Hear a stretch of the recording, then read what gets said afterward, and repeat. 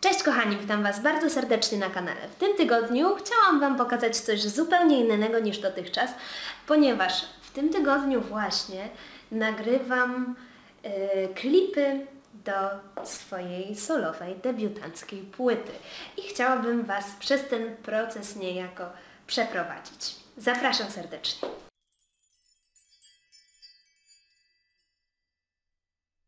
Nagrania klipów często powstają właśnie w ten sposób, że y, można nagrać na przykład nagranie live na żywo, czyli zarówno dźwięk, jak i obraz, a czasami robi się tak, że po prostu dogrywa się po prostu obraz do nagranego już wcześniej dźwięku. I ja właśnie y, w moich nagraniach zastosuję właśnie tę metodę.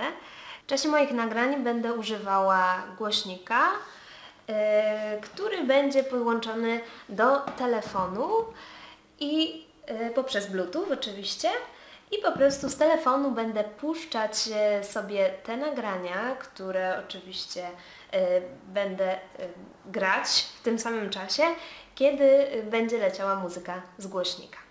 No dobra, ale teraz pytanie, jak wejść dokładnie na raz, kiedy już mamy zrobione nagranie? No właśnie, ja poradziłam sobie z tym w ten sposób, że nagrałam po prostu swój głos z liczeniem yy, i po tym liczeniu, po tym odliczaniu dokładnie yy, wiem, kiedy wejść na raz. Raz, dwa, trzy, raz, dwa i... Co potem? Yy, no potem po prostu trzeba ćwiczyć z tymi nagraniami, żeby się przede wszystkim osłuchać z długością pauz, żeby po prostu wypracować w sobie ten sam oddech, który miało się podczas nagrania. Nie jest to proste, ale wszystko da się wyćwiczyć.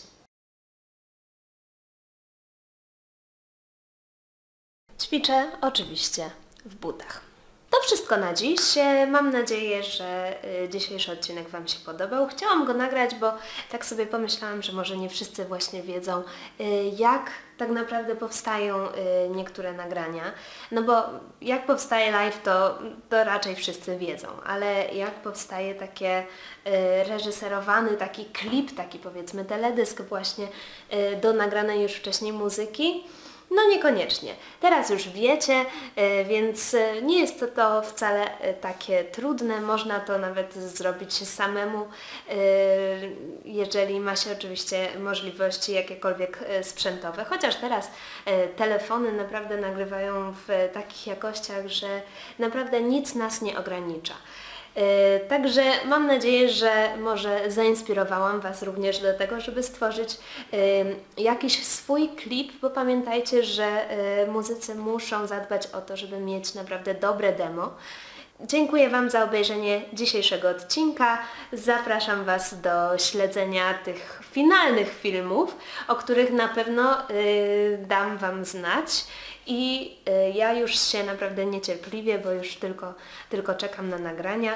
Czuję się przygotowana, tylko żeby pogoda nie zawiodła, więcej nie zdradzam. Trzymajcie się i do zobaczenia w kolejny poniedziałek.